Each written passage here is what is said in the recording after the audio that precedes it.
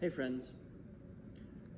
I um, had a uh, I had an impression kind of show up for me the other day, and I'm not quite sure why it showed up at the time that it did. I think, you know, it, usually when these things happen, there's kind of like a a, seed, some kind of thought or something that sort of grows. And sometimes I can retrace my steps and find it. And other times I it kind of I see the tree, but I can't remember the seed. But this time, what what came out what came up for me was a phenomenon that I've heard described as spiritual bypass. And basically, spiritual bypass, as I understand it, is when we draw. So let's say we have a, a some sort of conundrum, some sort of problem some sort of issue or that's manifesting in our life. It could be a complex, it could be a, a discomfort, a frustration. And, you know, problems manifest on different levels. Some problems manifest on the physical level, some problems manifest on the psychological level, the emotional level, some problems manifest seemingly in our external circumstances, some problems manifest inside of us. But but all of, but usually if we are conscious, if we're sort of look, if we know how to look for it, we can we can see the level on which a problem is manifesting or an issue is manifesting. And spiritual bypass is when we take a problem on whatever level it's at, and draw it upwards into our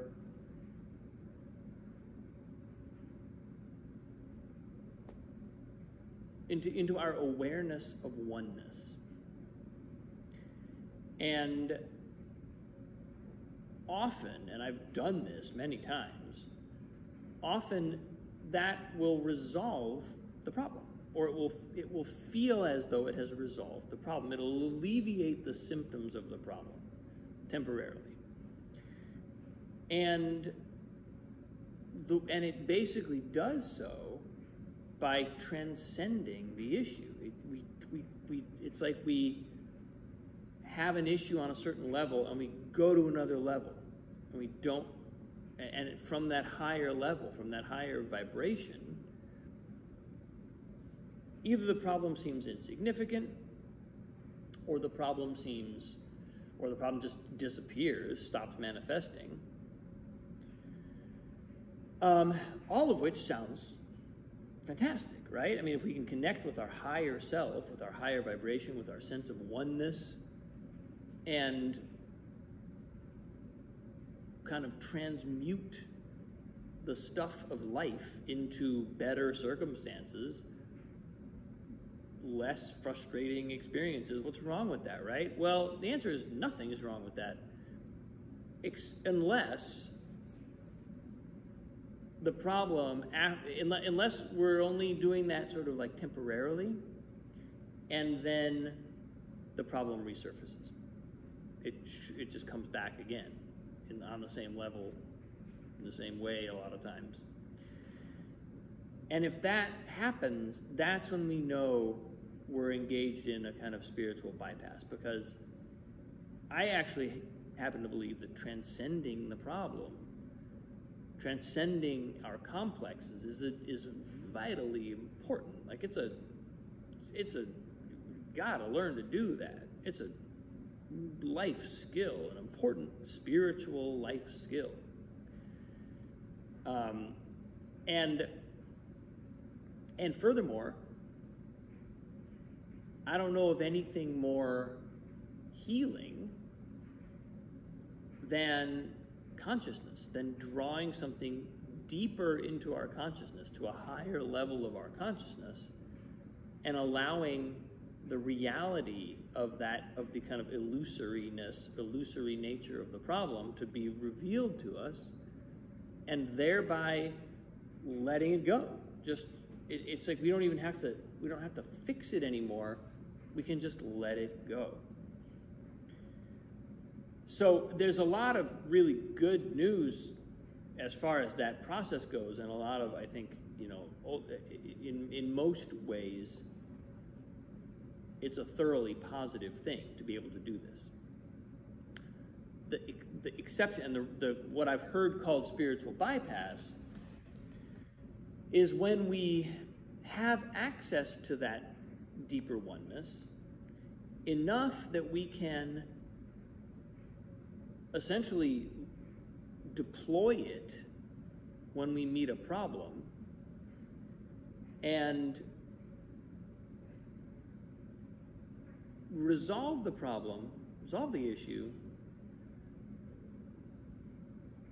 but not, or, or, or maybe not resolve the, maybe that's the wrong word. We can alleviate the issue, but not really resolve it. And surprise, surprise, you know, oh, I, why am I doing this post? Well, because I've seen myself do this.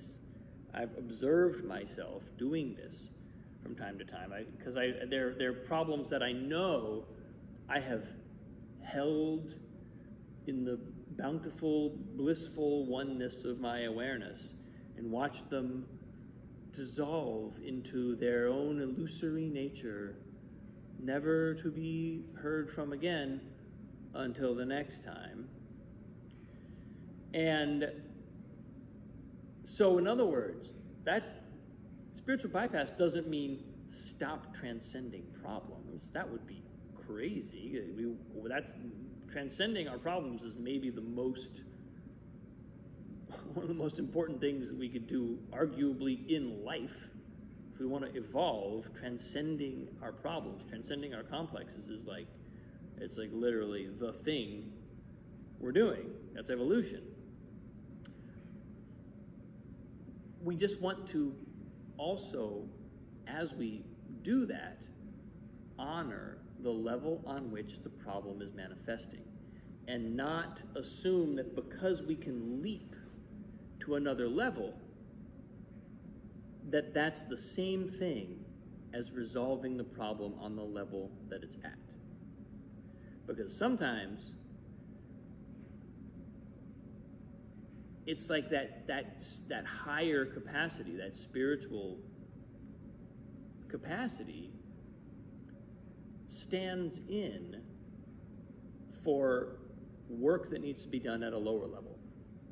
And this is something that comes up in a, in a very different way in the kind of like exterior world in the in the the we space or the um, interpersonal intersubjective space when we talk about the way that integral theory, and I'm, just, I'm kind of throw out some jargon here that if you're not up on integral theory, uh, as Ken Wilber has sort of espoused it, and many other people have built on it at this point. But if, if, if that's unfamiliar jargon, it's basically a, a, a philosophical and psychological, spiritual in some ways, theory of consciousness evolving through stages and at various stages, new capacities come online, new cognitive capacities, but also new new uh, their emergent capacities at each at each level. And one of the primary takeaways for me when I was kind of studying integral theory was that after once we get it, once we get how to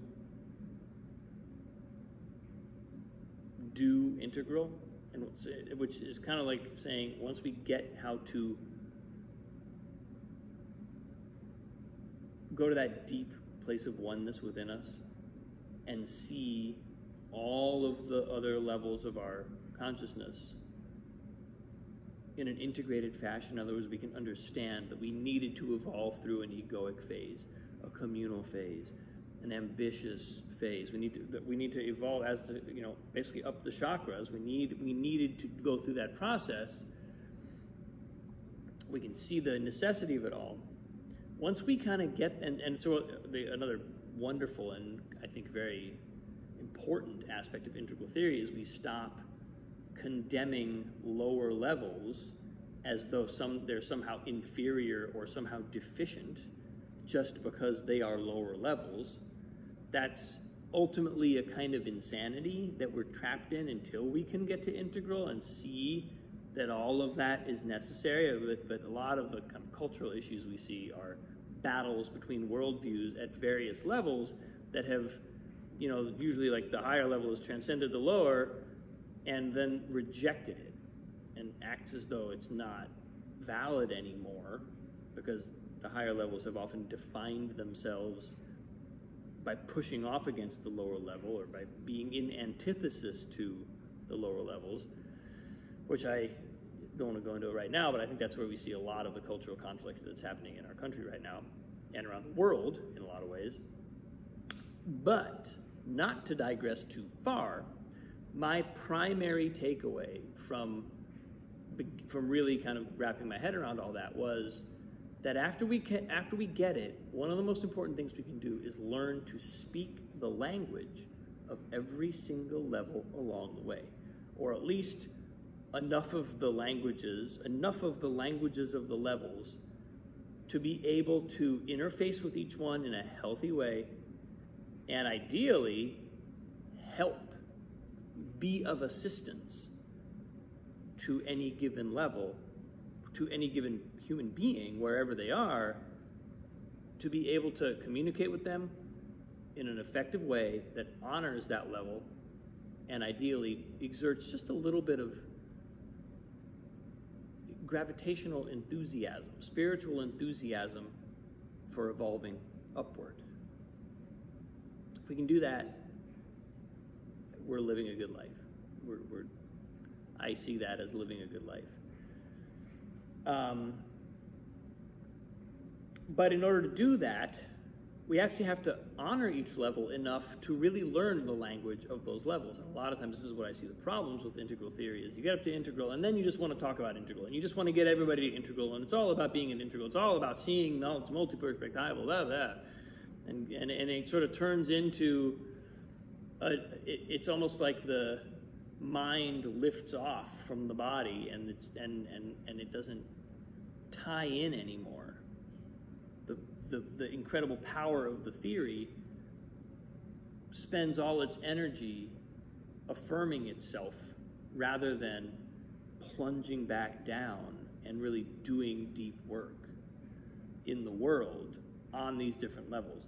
And that's a kind of macrocosmic manifestation of what I would call spiritual bypass in an individual on a, on a, on a micro level, a micro context because it's sort of the same thing of an issue is manifesting here and we just go to the other go to this higher level where we we know how to resolve it on that level. We know how to resolve it in in oneness in in, in the sort of bliss of consciousness but we don't actually know how to resolve it on the level that it's manifesting and so it keeps coming back. And even though again it's not that nothing's happening and very often that transcending process is is instrumental in resolving the issue ultimately and does gradually exert a, a pull on a, a, healing influence and an, and an upward sort of pull. Um, it's just that it can't. That's not. It's not always enough.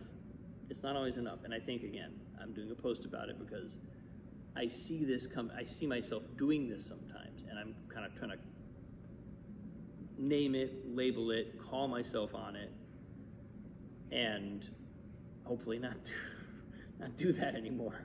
Hopefully, be able to use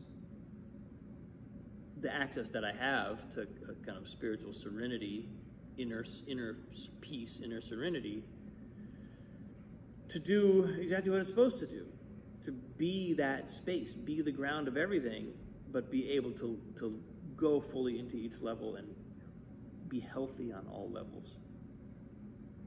So that's the that's where this notion of spiritual bypass has taken me in the last 24 hours or so since I started thinking about it. But that's where I'm at today, folks. Last day at Crystal Lake. Heading home tomorrow. Probably do a post from Albuquerque tomorrow. But I appreciate you. Thanks for watching. Have a wonderful day. I'll see you soon.